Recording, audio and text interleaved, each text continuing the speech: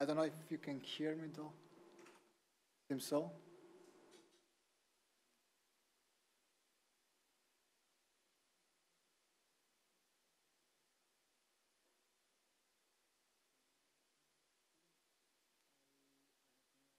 But I don't know if they can hear me.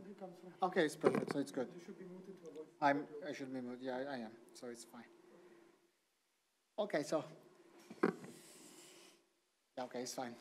So, okay, it's nice to see all these friends again after these two years. So it's been a long time. We try so that we think we can thank Erio, Andrea, and Ernst for the endurance to to endure and keep these two years and trying and not bail out in and then stop the conference. So it's nice to see all, all of you together and be here together. So together, I'm gonna try to present a bit what we are currently doing on this uh, field of uh, fluids and solid interaction and friction, and most particularly what we are really doing lately on uh, the interaction between fluid and electrons, so fluid molecules in the fluids and electrons in the solid, in particular in carbon nanomaterial that are mm, easier to understand and probably also easier to, to, to measure.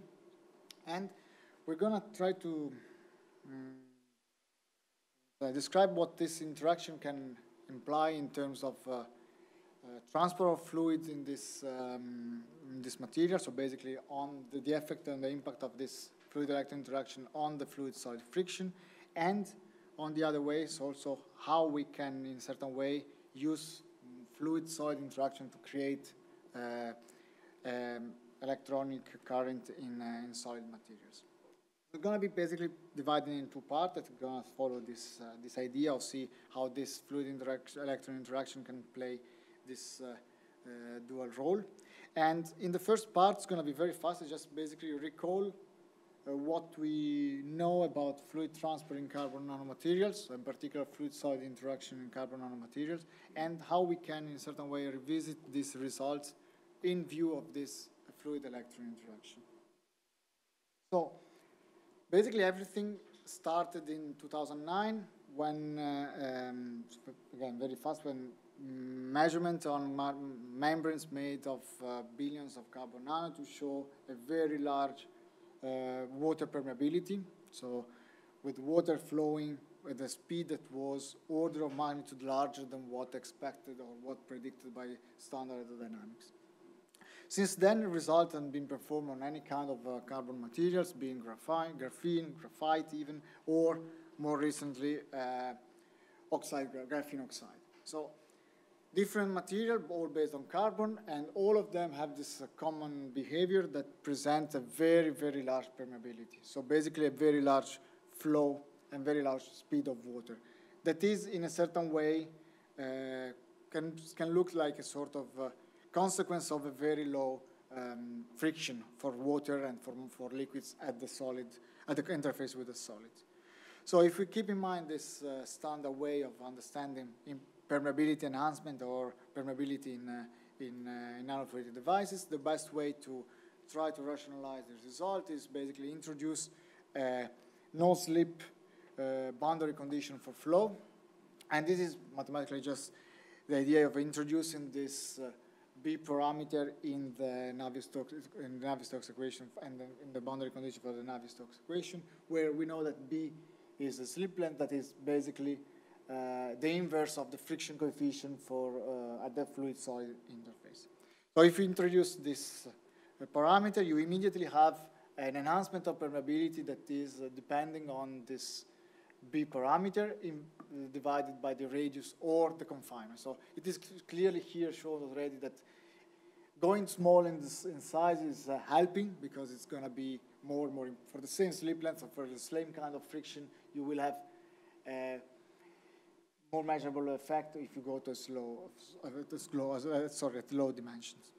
So if we now use this and we try to be a bit more quantitative, for example, for the case of, uh, um, try to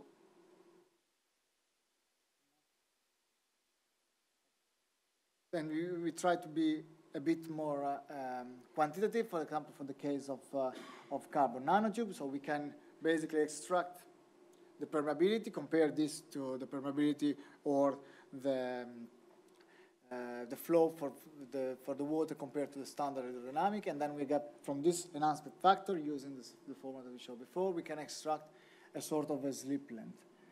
And in the case of nanotube, the first result were basically always in the order of hundreds of nanometer up to uh, microns, so very large value compared to, uh, for example, the radius.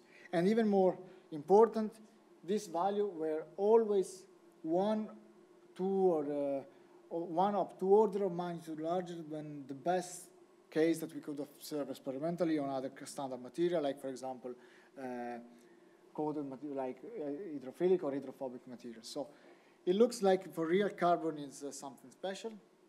And that was the, the, starting point. So the, the first part that we did, and that we were very, very fast, was to try to reproduce this result in uh, more control and configuration in order to be able to compare to, to, to, a theoretical modeling that was in a certain way more easy to, to apply.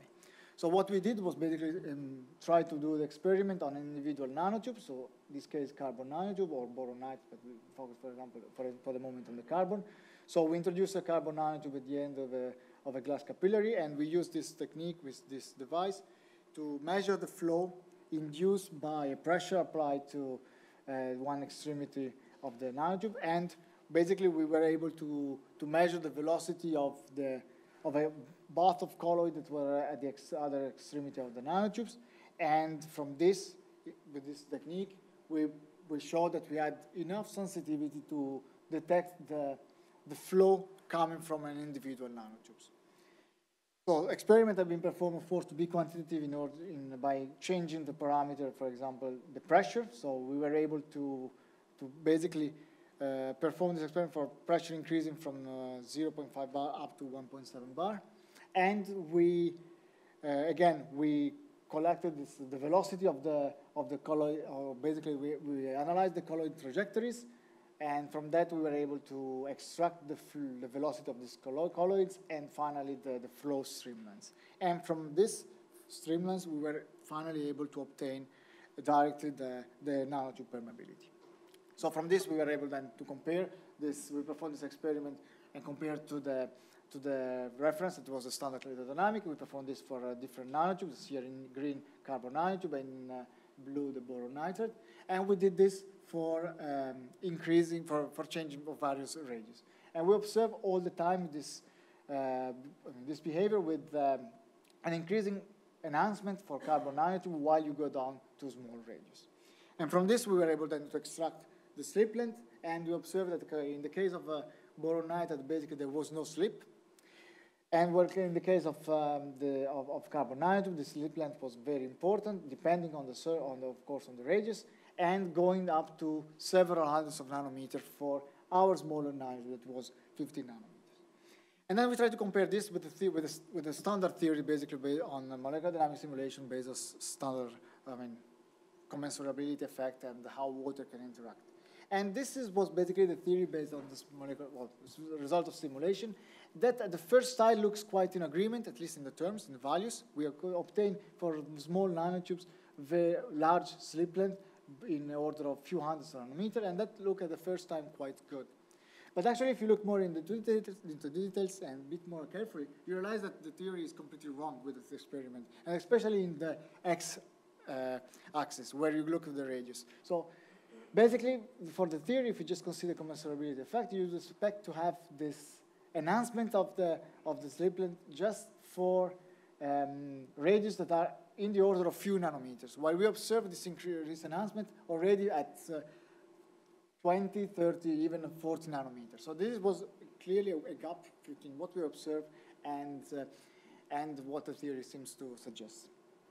And then, of course, what was important to understand is that First thing is that maybe our experiments are wrong in a certain way, so it's not excluded, but then we compare to what was observed also in other group, and we realize that basically everything is, uh, is more or less the same. Your experimental result that you have in literature is always showing very small slip length for graphene or, or uh, very large nanotubes, but you start to observe immediately an increasing of this uh, uh, permeability and increasing of the slip length for relatively large numbers in the order of uh, 30 nanometer radius, and that this goes very high even when, when you go deeper. So we had to, to go a bit farther with the theory, and that was what had been performed by Nikita Kavokine last in the next years in our group. And the idea was to look to other channel of dissipation and basically start to look with uh, a sort of non-classical uh, fluid-solid friction, and in particular start to understand if there would be possible to have an interplay between the fluid transport and the electronic properties of the materials. We observed here, for example, before there was a very big difference also between carbon nanotube and boron nitride, that are basically it's the same apart from the fact that they are one insulated and another metallic or semi-metallic. So the idea was, is it possible to introduce or to take into account explicitly the, the, the, the role of the electronic properties of the materials? And then that was Nikita developed, and I suggest to look at this paper to have more details on the on the very nice and the big effort he has done. So basically was to introduce this, taking the explicit uh, account this electronic effect in the fluid-solid interaction, that is basically this friction force that I show here. But what is important that if you look here, basically just in the, we can look very easily what this formula says is that this electron, fluid electron uh, interaction, so basically the interaction between the fluid and the electron, are supposed to be important only when the collective excitation that are basically the, uh, given by this imaginative part of the response function for the electrons and for those of the fluid meet or are in the same region. So if you are in a configuration where these two uh, collective excitation can meet, you expect to have a very strong fluid-solid interaction and finally a, a large fluid-solid friction. But if you are not, you expect to have basically low friction. So if you look first, is that in general we don't expect to meet because it's, it's always the same. Electrons are high energy and molecules and fluids are low energy. This is uh, standard. So basically it's comparing K KBT, that is um, few million, tens of milli electron volt, with uh, the, the, electronic excitation, plus basically plasma and so on, that are more in the electron volt. But there are actually some materials that is, this is not uh, like, like this. There are some cases where you have uh, the these two excitation can meet. And this is particularly the case of carbon materials. So if you look, for example, on this, uh, um, no, on this uh, center graph, you look at the, here, we compare basically the, the, let's say, the collector resistance for electrons, or basically the electric response for graphene and for graphite. So graphene is basically characterized by a response with only very few modes that are the right energy to meet and to interact with the, with the, with the fluid molecules in, the, in the water. But on the other hand, graphite is more characterized, is the, the dot in the, in the center graph, are more, it's more characterized by sort of dispersionless uh, response where there are a lot of modes exactly at the right energy. So they can meet, interact quite efficiently and effectively with the, with the waters. So and then if you put this, just for this point of view, you can expect that in the case of graphene, you have larger, lower, lower friction than in the case of graphite. So then you can then, let's say, generalize this, um, uh, this result and goes to the case of more like, for example, carbon nanotubes that was interesting, then consider what is the response of carbon nanotubes from an electronic point of view and also from a, let's say, optical point of view.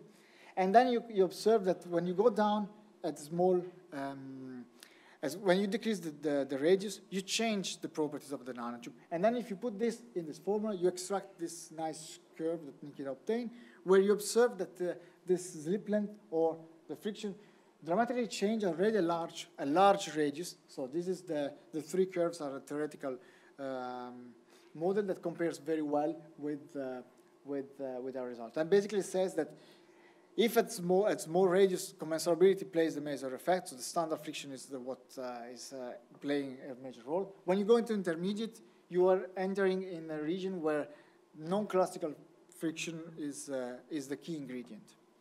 So, and apart of this, what is interesting is that also this offers another new way to, to, to tune a bit the friction between a fluid and a solid, but also open a new way or can give us the, the hope to do the opposite way. So if we see how electrons can modify the fluid flow, because basically this is what's happening, we can also expect or hope that we can, in a certain way, use fluid to modify the electron electronic response. And this is basically this, the second part. This is the phonon, how we can measure or show the phonon drag, or basically the, the movement of, or the generation of current because induced by a phonon drag at the fluid solid interface. And this experimental evidence has been presented in a few, I mean, already some, some years ago, So basically what was shown that the flow of uh, fluid along carbon nanomaterial were able to generate current or electronic potential. So the first result was in 2003 by Ghosh et al., where they observed that the flow of fluid at the exterior of, uh, of a bundle of nanotube was observed to generate a voltage drop between the two sides. The origin of this has been, for example, uh, I know that uh, you have done a lot of uh, thought about uh, thinking about what was the origin, and this logarithmic dependency show, I mean, suggests quite immediately sort of a stick slip uh, phenomenon.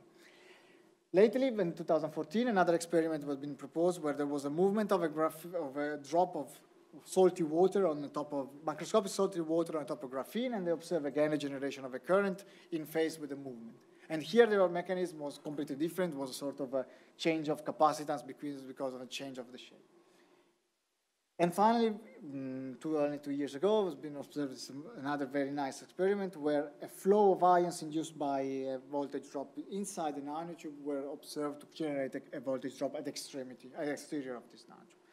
All of this seems to suggest the same thing that we're saying, but so basically how this fluid friction can generate electrons, but the mechanism exactly at play is still uh, a bit confusing. So what we decided to try to was to do again, again another sort of control experiment. In our case, what we used was, an, again, our tuning fork-based atomic force microscope, but in this case, we didn't use an, an AFM at all. We just used it as a sort of uh, object to controlling, to I mean, control, for a controlled deposition of a small amount of liquid. In this case, we, we touch um, a pipette at the extremity, we fill with the liquids, ionic liquids, so charged liquids, and neutral uh, uh, apolar liquids. And we, we put this, we deposit this on top of, uh, of, the, of a graphene sample connected with two electrodes.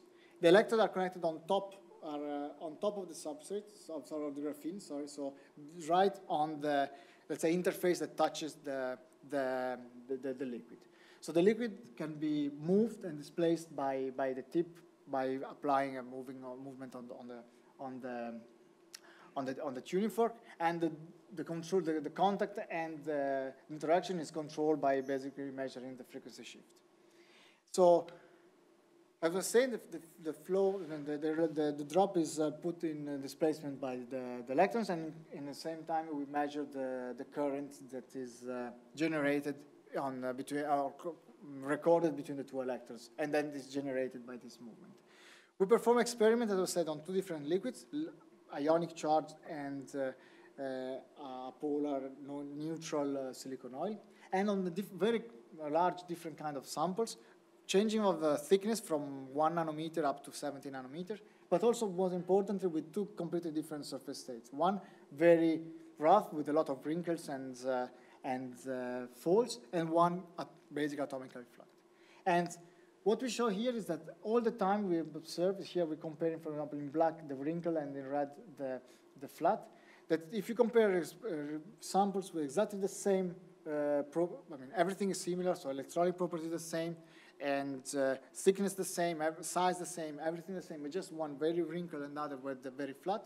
The difference that the wrinkle you observe a current, and in the flat you observe always nothing. So we go a bit, a bit further. And we then start to perform experiment, and this time as a function of the velocity.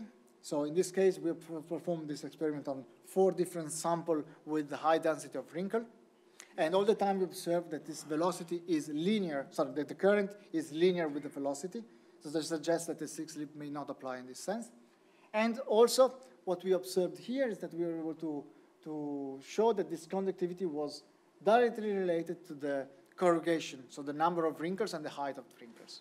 So, and we performed this experiment again. For liquid, ionic, and non-neutral results were always the same. So there were basically two options for us to, to look was one was the Coulomb drag, so the direct generation of electrons movement because of Coulomb economic interaction, or the phonon drags. So basically the idea that one, you have a direct Coulomb interaction that generates, and the second is more like collision of water molecules, and then finally friction of fluid molecules that uh, uh, with, the, with the solid. So this, the fluid is basically transferring momentum to the, to the, to the solid, and then this uh, momentum transfer generates phonons, and then because of electron-phonon interaction, you have a second of cascade effect on the, on the on the generation of electrons. So basically, the idea is uh, more precise. Is that you have other.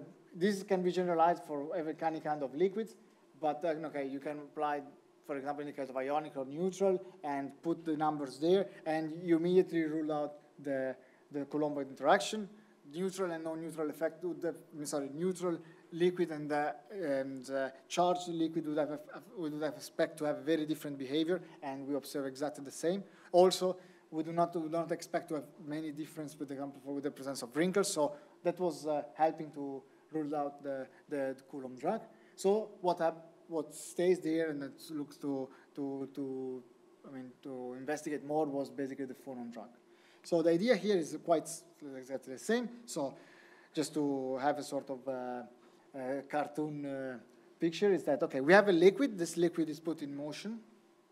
And this motion, basically, the liquid interacts with the, with, uh, with the solid because just basically of uh, viscous force and because of this uh, uh friction at the wall. So this friction basically is uh, the friction force between the fluid and the, and, and, um, and the solid basically is translated in generation of phonons. And this phonons has also um, an energy shift that is given by the fact that, so the, the population is, uh, is shifted by the fact that you apply this uh, constant flux of, of, uh, of momentum because of the fluid, of, uh, of the motion of the fluid, and then at the end you have, uh, yeah, exactly, a shift of this population that is, uh, if we look, for example, in the case of, if we apply, or assume that the movement of the liquid is on the right, basically is changing, and there is a shift on the right band of, the, of this of the energy of the energy band.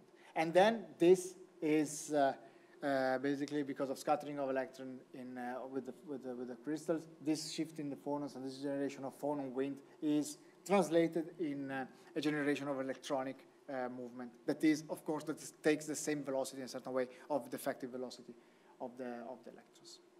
And so if you go with, a bit more on details, and that's been developed by Baptiste, uh, Coquinot, and uh, again Nikita in full details, you can have a rough estimation of the current you'd expect. So here is the current density, but it's more or less the same. And what you observe is that, okay, the electronic current is basically the number of uh, charge, basically the charge carrier velocity times the number of charge carriers. So the charge carrier velocity, in this case, you assume it to be the, the velocity, the Fermi velocity, and the, the, the, number of charge carrier, that what matters is basically given by the density of states and the induced frequency shift that what we observed is given by this fluid solid interaction, generation of phonons, and Umklapp uh, uh, relaxation that goes to the to this uh, to the to the frequency shift in the in this and then in change in the population. You can go very very go into the details and then try to estimate properly this uh, effective velocity and then finally the induced frequency shift. And then you observe that it's basically the effective velocity of the phonon wind is only determined by balancing the momentum fluxes in and out the, the system.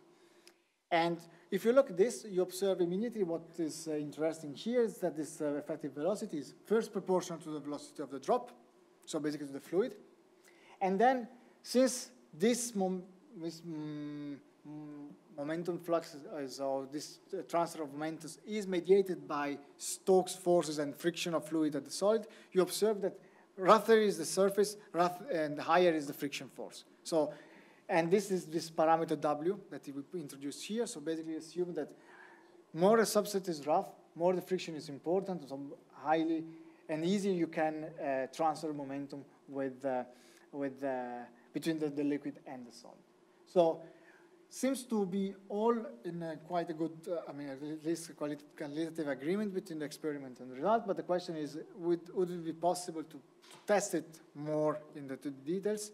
And if we look at is that basically there was still another parameter that we can uh, play, is that here we didn't speak right now so far about this, but it's basically on this density of states. So the question is, is there a tune, a way to tune a density of states of a number of, of of these things. And the best way to do it is basically introducing an external parameter is basically gating. So add a voltage gate, and if you, then you have to know exactly what is the band structure of your substrate or your system. But basically, we know that, okay, we are using multi-layer graphene. So multi-layer graphene can be approximated quite fine with uh, a graphite with two double parabola that are touching because they are not exactly uncoupled in case in graphene. And in this sense, you observe that uh, you expect to have a direct linear transfer. So basically what we are here with the experiment, we, we perform this um, measurement again with, uh, as a function of the gate. So we perform between, okay, we change from 40 millivolt down to minus 40 millivolts, we change. And what we observe is that we, we see that the, the, the, this gate has a direct impact on this electronic current. So you decrease the gate, you decrease the current that you measure, and when you inverse the sign of this, uh, of this, uh, um, of the gate, you switch, you change the, the, the, sign of the current. So basically you go in a position of phase opposition. So this basically it means that you are moving from a region where of reconfiguration where the electrons are the mere carriers to the uh, to a configuration where there holes, the mere carriers. And here we observe this uh, the conductivity as a function of the bias. We see there is no uh, no discontinuity, but basically we, we go continuously from positive to negative current. That is basically means that there is no band gap opening in, the, in our system. That is quite understandable. So at the end, altogether, this, uh, um, this results convinced us that we have been able to, to observe this phonon drag and this electron generation. And just to conclude, so we we're now quite convinced that fluid electron interaction impact the transport in carbon material when you look at the fluid transport. But also that vice versa, you have the opposite effect. So where, where you have this interaction can also be translated in, uh, in a generation of uh, electronic current induced by a, a, flow of a liquid. And all comes from this uh, strong interaction that is basically the strong uh, fluid-solid friction at, uh, at the interface. And then now we can also start to look or hope to control the fluid-solid friction by tuning the matching between the collective response of molecules in the liquid and those of the electrons in the, in the solid. So this is more or less what we would like to do right now, but it's going to be take us a bit of time. And to do so I can uh, finish here, I thank you all for this uh, well, for your attention. I thank you for this opportunity for the, and the pleasure to be here all together again. And I'm ready for any questions. Thank you. Thank you very much. Uh, other questions? Ariel. Thank you very much. Uh, uh, just, just, so what about the famous logarithmic? You have linear response, right? In our so. case, we have li linear response. We expect that in our case was, uh, we were basically dominant, we were a very high viscous liquid and with uh, uh, quite rough materials. So in our case, we were completely dominated by sort of uh, mesoscale friction. So we were not able to, to enter in what you observed in, um, in if it's logarithmic, it cannot, cannot be anything else than basically stick slip in a certain way. Or it's very hard to understand that the same thing. We do not because we, were, we choose to be in a sort of intermediate regime where mesos, where viscous flow is, uh, is, uh, is the dominant fact, and basically you're just smoothing everything, and you do not see stick slip. Larger voltages. Yeah. Yeah, that, that also, that's true. Can I, can I ask about the, the first, but the flow into the carbon yeah. nanotubes? What type of tubes were they? You, you just said nanotubes. Was we were using for carbon nanotube and boron nitride. So carbon nanotube are very slippery, and boron nitride. Yeah, but the, but the nano carbon nanotube, so multi-wall or multi-wall. Sorry, yeah. Okay, okay. Because yes. because if you look, look at the electronic structure, if you have single-wall tubes, you could actually realize um, semiconducting and uh, and sort yes, of. Yes, and that is uh, exactly what is, for example, and um, we are like, currently discussing with this, and we have some result with uh, with with the Ming Mine exactly on about what happened when you go and you go with the double wall nanotubes in particular, and exactly what it seems that more you go with uh, small numbers, small number of wall, and more this effect is even more important.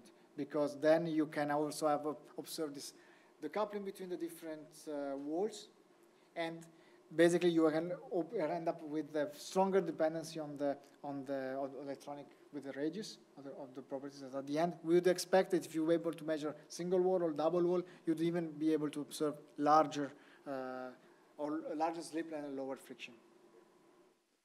Okay, one final question. Yeah. Uh, thanks for the nice presentation. Uh, you had a slide uh, where you compared in uh, Coulomb drag versus phonon dispersion, I think. Yeah. Uh, could you give some idea how um, these two are compared together? Uh, I mean, uh, in which system, which one is dominant? This is, okay. they play it all together. They are, the two are together in a certain way. It depends. In, for example, if you consider purely graphene, perfect graphene, where the, I mean, the, if you look here, for example, in the phonon drag, you have different.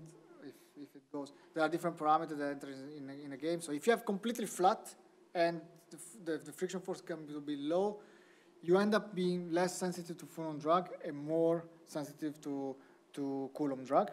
Also, if you are in a perfect graphene where the, the effective mass of the charge carrier is lower, then you're gonna be more sensitive to the Coulomb drag.